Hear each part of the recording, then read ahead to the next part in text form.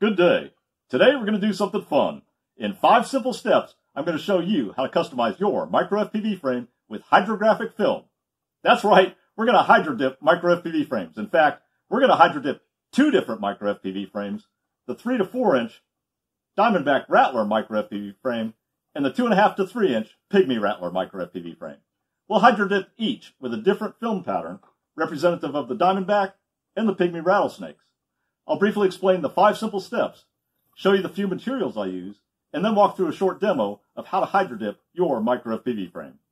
Somewhere in this video, I'll also have a little surprise for you too, so make sure to watch the whole thing, give it a thumbs up below, and subscribe to your TMAC FPV channel, your home for your journey to better FPV fun, flights, and racing stuff.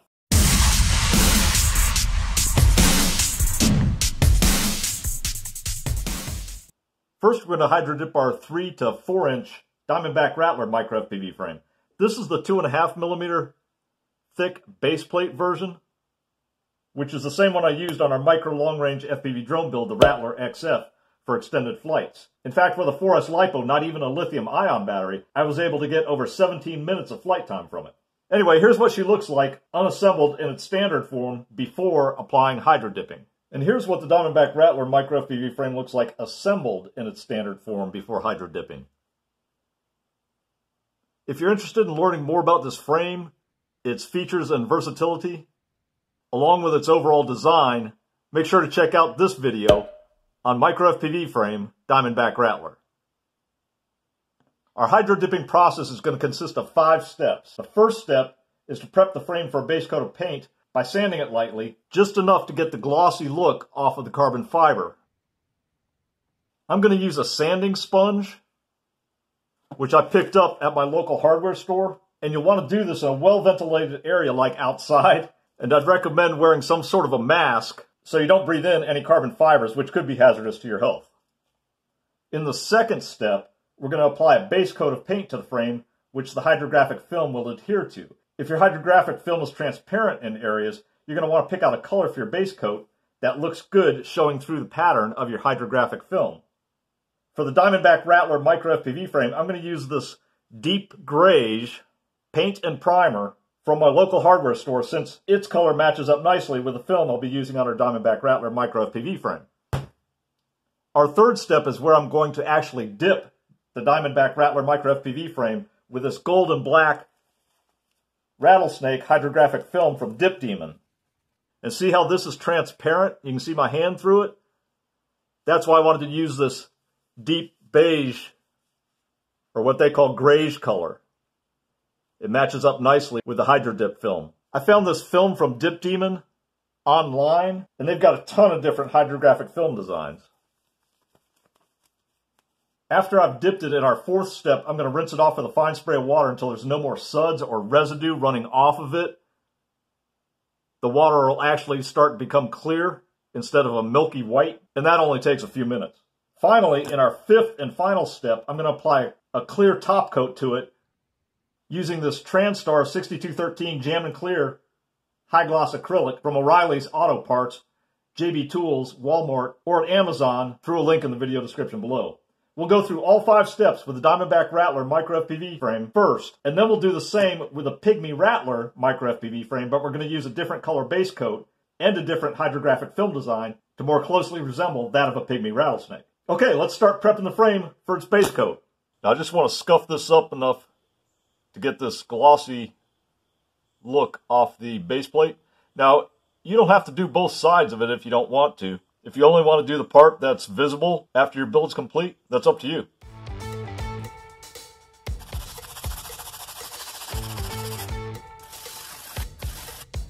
The sponge makes it pretty easy.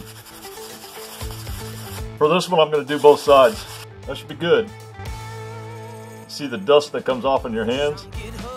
That's what you don't want to be breathing. It might make sense to wear some gloves. And this is also the reason I've got the isopropyl alcohol we're going to use some of this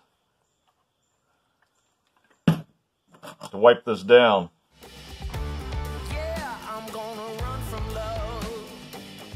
Get some of the dust off of it.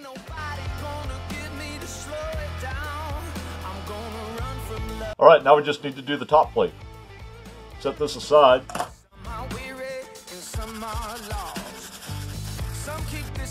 That looks good. See the difference between the two sides now?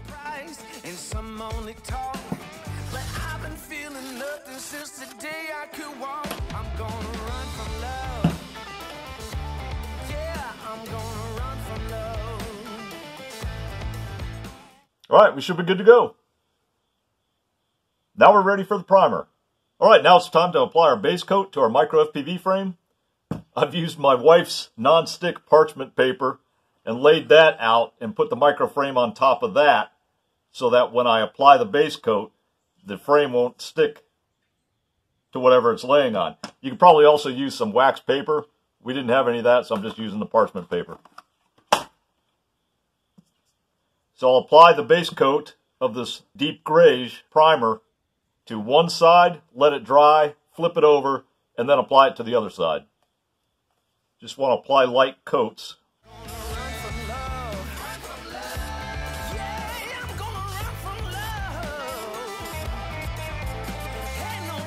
I think this color is going to look good for the golden black diamondback pattern. Remember for the Pygmy Rattler, we're going to use a different base coat and a different pattern. All right, I think that looks pretty good for this side. We'll let it dry, flip it over, do the other side. All right, it's been about 30 minutes, so let's see if this is dry to the touch. The paper's dry. Seems like the primer's dry. This says it dries in 25 minutes or less. We let it sit for about 30. See if it sticks to the paper. Not too bad. We're good. All right, flip it over.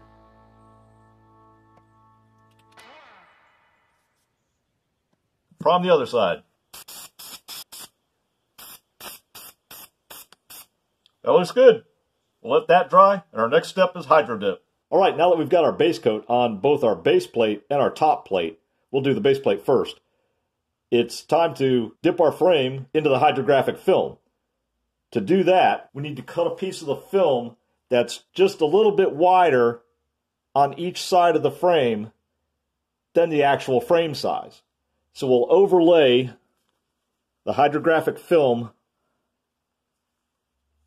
onto the frame, and we want to cut a piece that's about that much bigger, that much wider than the outside of the frame on all sides. The reason we're going to do that is we'll need to place some masking tape over the film on all four sides of the piece that we cut. The reason we need to do that is the film is going to lay flat in a tub of water, and then we're going to spray it with this activation spray to activate the hydrographic film. Once the film is activated, it tends to spread out. And if we don't have a frame or a border of masking tape on all four sides, it'll actually spread out to the point where it dissipates and you won't be able to dip the frame into anything. So we're going to put a border of masking tape around the piece of hydrographic film that we cut, one to two inches wider than the actual frame itself. So what I want to do is I want to look for the type of pattern here that I want to cut on our Rattler frame. I think that looks good right about there. It's a little bit wider down here at the back end than on the side, but that's okay. So at this point, what I want to do is I would just want to cut the piece. It's almost like cutting Christmas wrapping paper, if you've ever done that. Like that. And now we've got a piece of hydrographic film that we can put a border of masking tape around. Now, there's a certain side of this hydrographic film that needs to go face down in the water and that's the sticky side of it. And in order to find out which side is sticky, since they both basically almost feel the same, is just lick your uh, fingertips and then press it on the corner of the film, and you'll see that one side sticks. It's that sticky side that we want facing down. And then I want to overlay this, and then I'll go ahead and make the border with our masking tape. And you want to make this as flat as possible, trying to reduce the number of wrinkles in it. And now when we do it like this, we're going to have both the sticky side of the hydrographic film facing down, and we're going to have the sticky side of the masking tape facing down into the water. And there we have our border of masking tape around the hydrographic film, which is going to sit in the water and will dip the frame, the base plate, down at an angle through the hydrographic film after we've applied the activator spray. I'm going to go ahead and do the same thing for the top plate, and it's the same process, so I'm just not going to show doing the same thing for the top plate for this video, just to save time. So now we can pull this up. Now we're ready to lay this face down into the bucket of warm water for dipping. All right, now it's time to dip the frame, and I'm going to demonstrate the process by doing one side of the base plate. I filled this yellow bin up with warm water. It's not scalding hot. It's warmer than room temperature. And now we're going to lay the film flat on top of the water, being careful not to get water on top of the film. And also what we want to try and do is keep any bubbles from forming underneath. It's okay if they do, but if they do, we can either blow on top of the film to push the bubbles out from underneath or actually use our fingers to gently push them out from underneath. The way we want to try and keep bubbles from forming underneath the film is by putting the center of the film down first, if at all possible. So we're going to try and bow the film in the center, lay it down like this.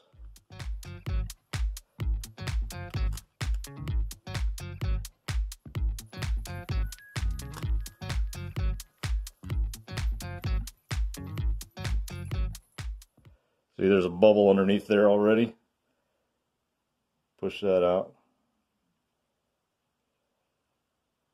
There we go.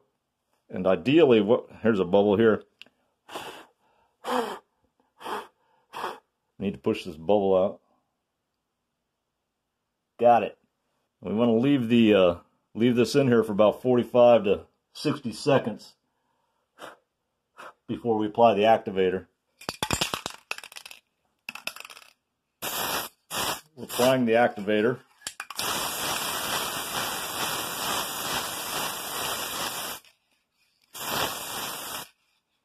And now I'm going to dip the base plate in using these needle nose pliers at a 45 degree angle as much as possible.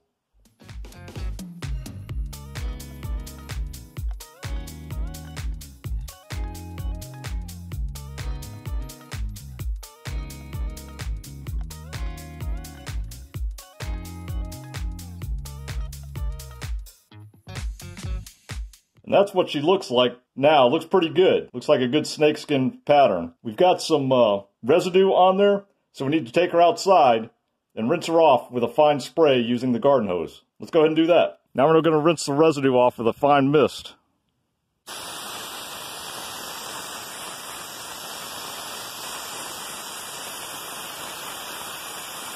You can see in the upper left motor hole there's like a milky white substance. You're just going to rinse her off until everything becomes clear. You don't want to use the pressure to remove the residue. You want to use the water flow. You can already see the water in that upper left motor hole is getting more clear. That might actually be good now. Nice looking snakeskin. Diamondback Rattler. Now we let her dry, and then we do the same process for the other side, and also both sides of the top plate. Okay, we've hydro dipped both sides of our Diamondback Rattler micro FPV frame.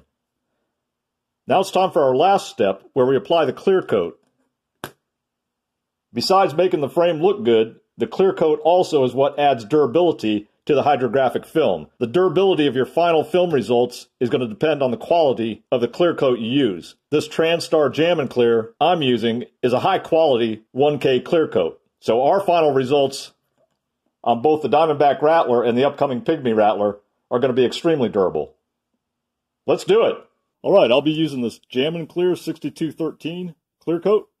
Since we've already got the hydrographic film on both sides, I don't want to take the chance of laying it flat on a surface and applying this clear coat and having it stick to the surface and then peeling off the hydrographic film.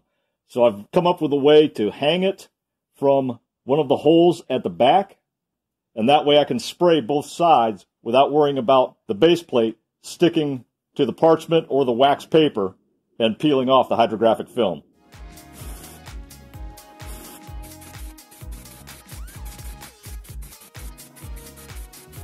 I'm gonna do the other side.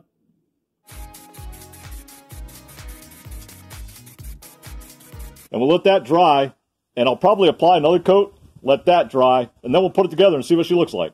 All right, now I'm going to hydro dip the Pygmy Rattler micro FPV frame, and if you'd like to learn more about this Pygmy Rattler frame, check out this video titled Micro FPV Drone Build Pygmy Rattler, linked in the video description below. Since the process is the same, I'm not going to be doing it again for the Pygmy Rattler. The only differences for the Pygmy Rattler are I'll be using this Rust-Oleum Gray primer and this Pygmy rattlesnake skin hydrographic film instead of the Diamondback Rattler skin. So let's take a look at the finished results.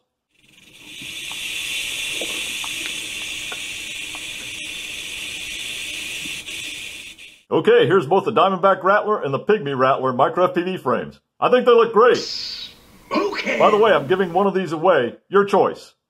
All you have to do is be a subscriber of your TMAC FPV channel. Like this video by hitting the thumbs up button below and put one and only one comment in the comment section letting me know what you like about these designs and which one you'd like to get by using the words Diamondback Rattler or Pygmy Rattler.